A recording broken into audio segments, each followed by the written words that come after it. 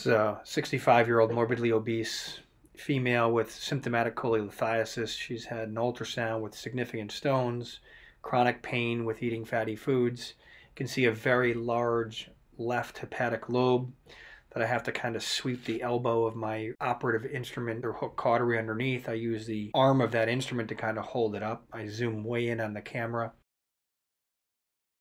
You can see me working down here in the infundibulum. These are always a little bit challenging when you got the left lobe of the liver in the way.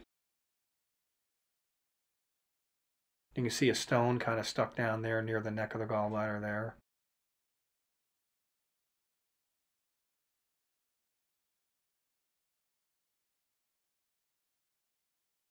Just trying to clear up posterior side why I have the exposure just because that lobe of the liver is just creeping up.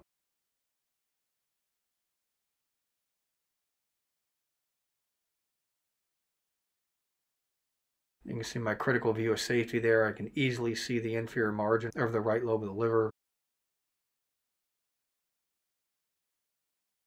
Now I've mobilized it enough where I can go over top of the left lobe of the liver.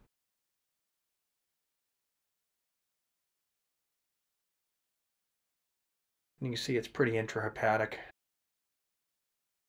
I just thought this was a nice case to show the left lobe of the liver and sort of my way just kind of work around it.